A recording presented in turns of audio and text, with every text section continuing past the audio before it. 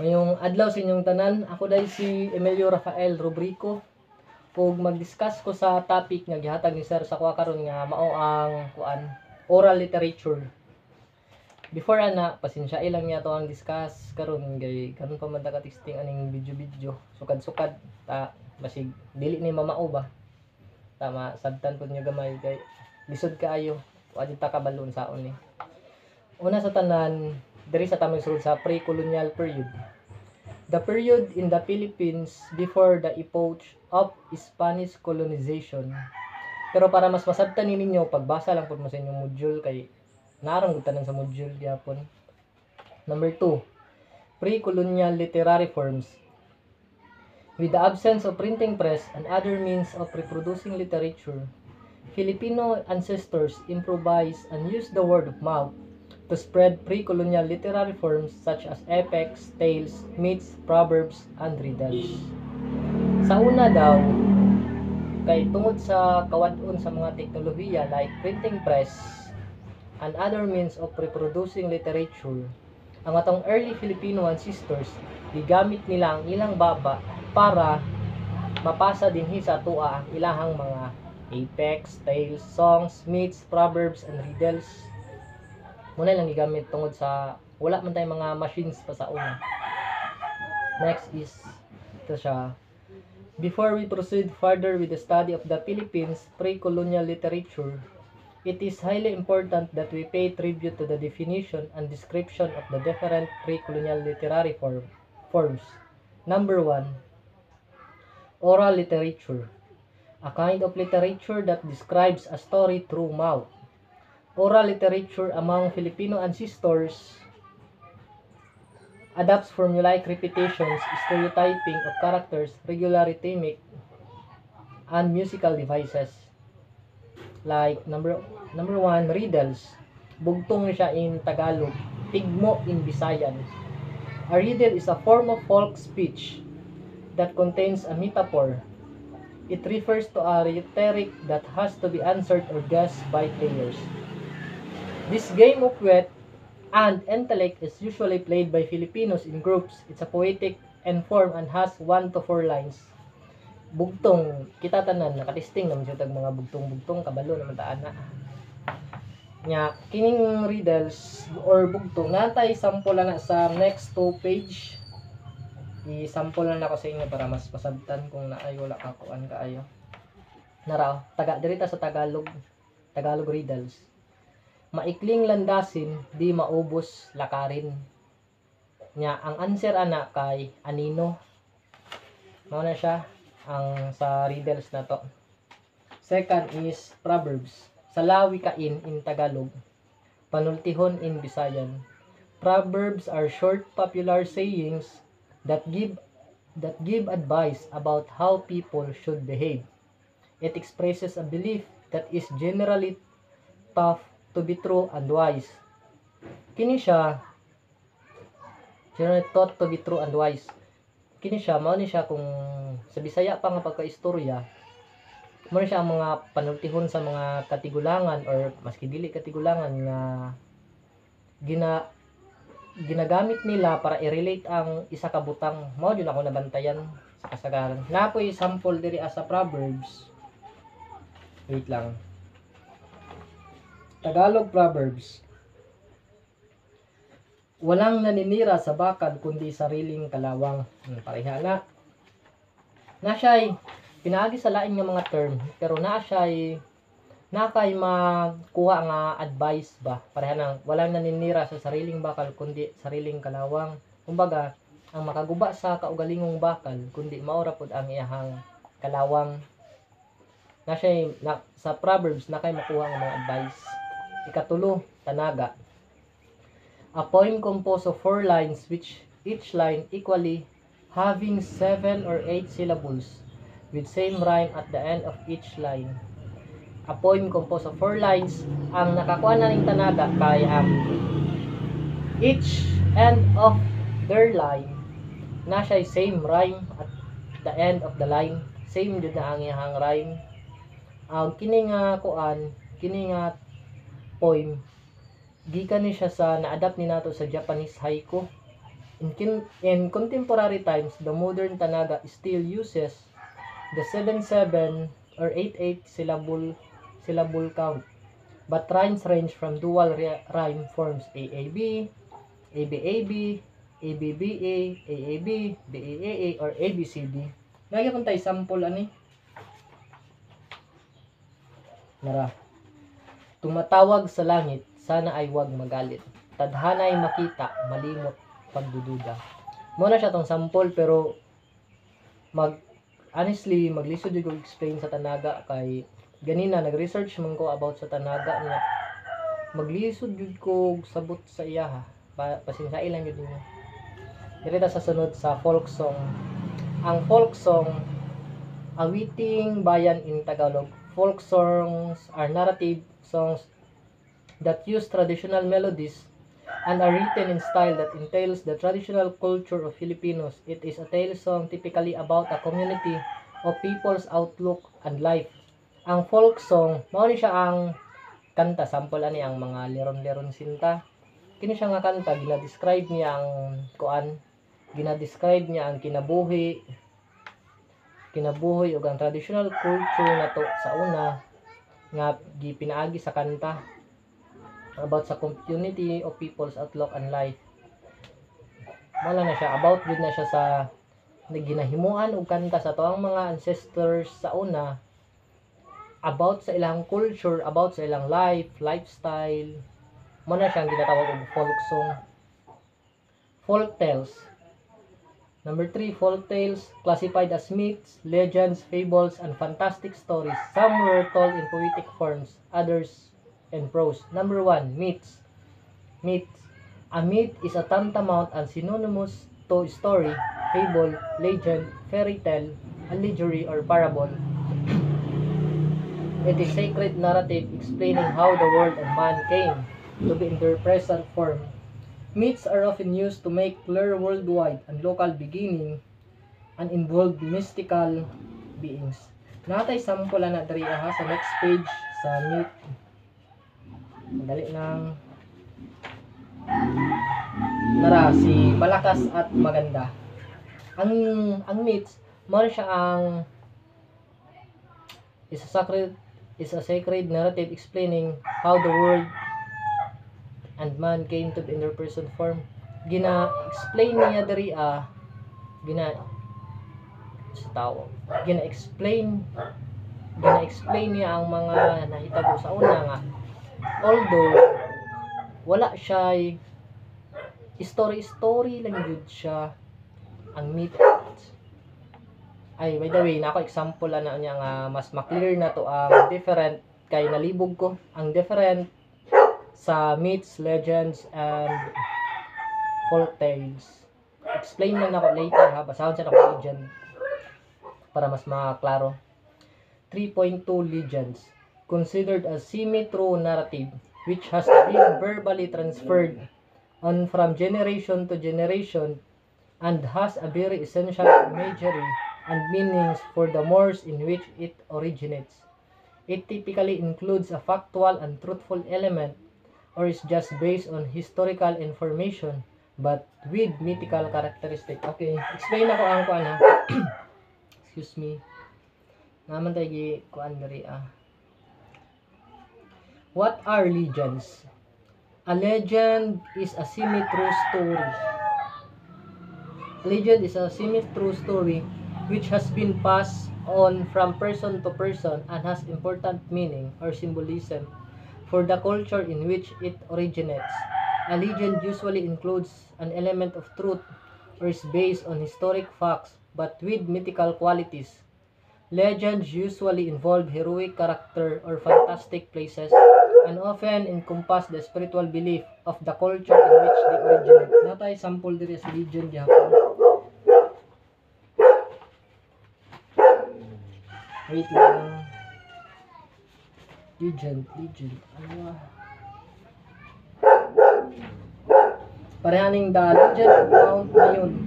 The legend of Mount Mayon is a semi-true story that have been passed on from person to person and has important meaning or symbolism the culture in which it originates. pareha diri sa Legend of Mount Mayon gina-explain diri kung anong gitawag na siya og Mount Mayon. So, na siya'y na siya'y mahimong semi-true story tungod sa kay gina-explain niya ang para ng sa sample na to The Legend of Mount Mayon. Gina-explain niya dito kung anong gitawag na siya og The Legend of Mount Mayon. Parang The Legend of Mount Apo. Pareha ni kung unsay reason nga nung gipanganlan ni sila og Mount Apo. Oh wait ha? Ang myth a myth is a story based on tradition or legend which has a deep symbolic meaning a myth conveys a truth to those who tell it and hear it rather than necessary recording a true event Although some myths can be accounts of actual events, they have become transformed by symbolic meaning or shifted in time or place.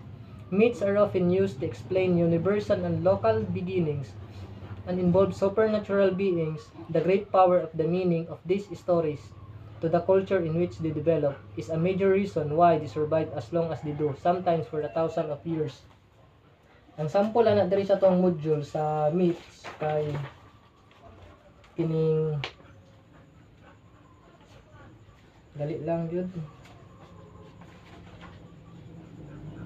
malakas and maganda like ani gina-explain niya kung sa based sa kong research ha ah man to sa recording to event although some myths can be accounts Myths are often used to explain universal and local beginnings.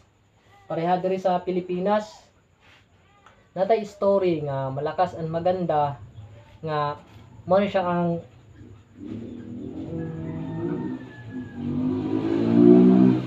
universal ang local beginning sa ato ang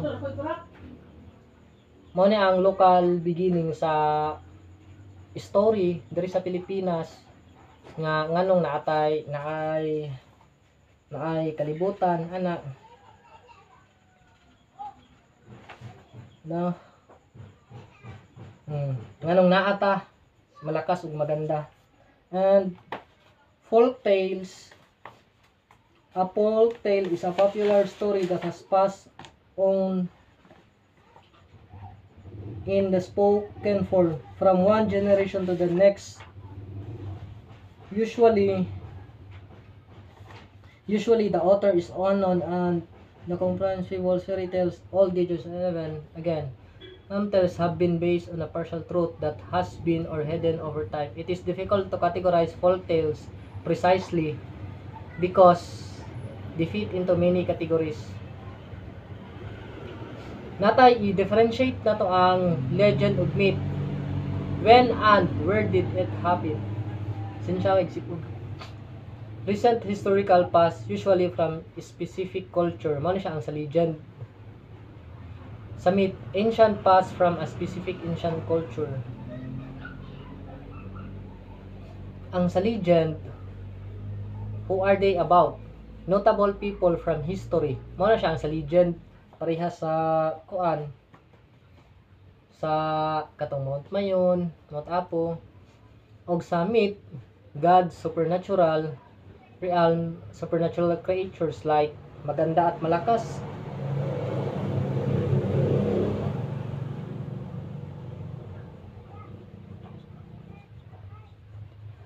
Then, dirita sa fables. A form of tale which has also passed down from person to person and told to each a lesson about something.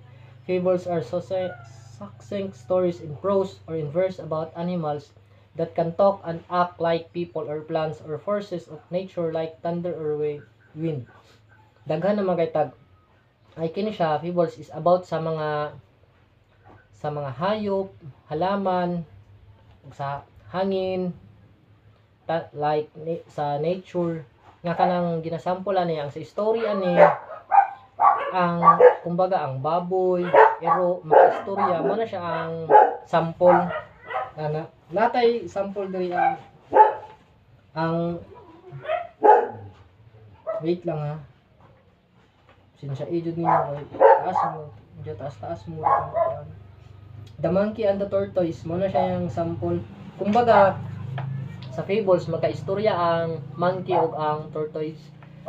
Mag mos ay dili mos ha lahat tanan sa fables mag about yun na siya sa mga plants sa plants animals o nature. Mo na siya. Nga mo istorya sila ba Fantastic stories. Fantastic stories are based on happenings that include urban legend creatures and commonly have elements of horror. Ang sample ani kay pareha sa kuan. Dali lang ha. Pareha kang Hercules.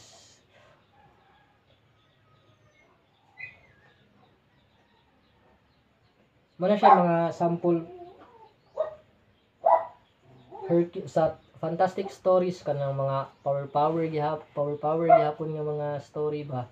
Like sa Hercules Poseidon Odyssey mo na siya. Epics heroic stories about heroic action of an individual who is considered as a hero. An epic is written in verse form Ep- epics are narratives of sustained length based on oral tradition revolving around supernatural events and heroic deeds. Ano siya, heroic stories about heroic action of an individual who is considered as a hero. Ano na siya ang mga hero-hero na ni siya diri ang story.